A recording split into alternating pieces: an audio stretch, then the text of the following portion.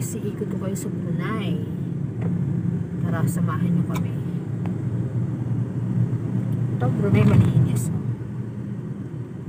Tsaka ma, ano siya, ma, kubat. Kubat pa. Hindi pa talaga siya gaanong, ano, Swiss Alps.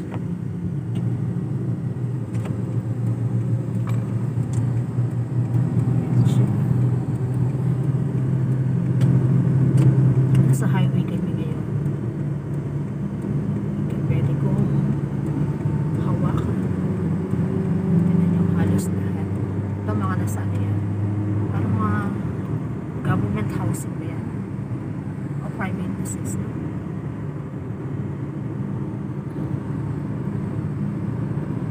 Ito ang Brunei. Tsaka hindi, wala kang walang traffic dito. Oh, yan palang ano, ang sementeryo dito, ng terrace sa Brunei. Muslim. Muslim cemetery. Na, nahulog yung puno suddenly. Nahulog yung puno. Baka mga matatandang Hindi pala yan. oo, I mean, Okay, like, guys. sendiri. Dito. Google sendiri. There's a place. Alis na. For speed. Buti na lang naka-correct speed limit tayo. Ayan guys, so, so sobrang init dito. Nagtitry ng mga puno, namamatay sila. Minsan nga nag-aapoy siya eh. Makahoy pa talaga rito sa Brunei. Yan, nakikita nyo yan, yung mga dried na yan. Minsan yan, bigla na lang aapoy. Kung malapit sila sa river. Oo. Paano makikita? May river ba talaga yan dyan? Merong sungay. Yan, mismo sungay yan eh. River yan. But you can see the Ah. river. I mean, Ayan o. Iba rito guys, dinidiligan ang forest. Kasi pagka talagang sobrang mainit na siya, kasi nag-aapoy. Tsaka nag-aapoy delikado. So far, wala namang mga ano, mga bahay dito, di ba? Oo, wala namang mga casualties. Even the Ayan, oh. Even the animals are being taken care of. Kaya, kita nyo yan. Grabe init ngayon dito. Super.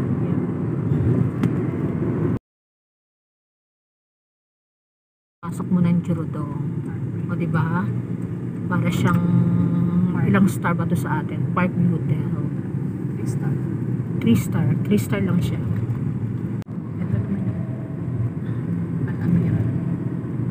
Ito naman. Ang kanilang ang mosque dito. Makita mo. Al Amira. Al Amira Mosque. Magaganda mga mosque nila rito. Yan. Kasi since um, Brunei is a Muslim country, kaya marami silang mga mosque.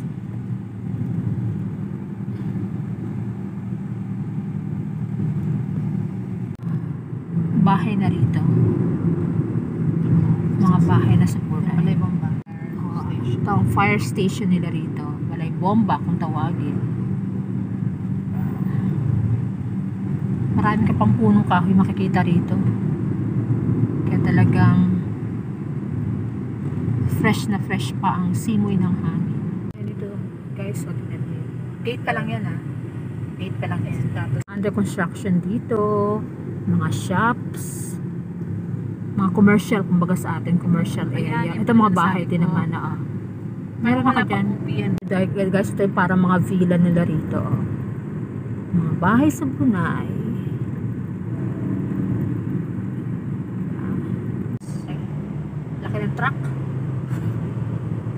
Ang truck po. Ay, Puntahan ko yung area na Nakita mo yung landscape? Hindi ko nakita.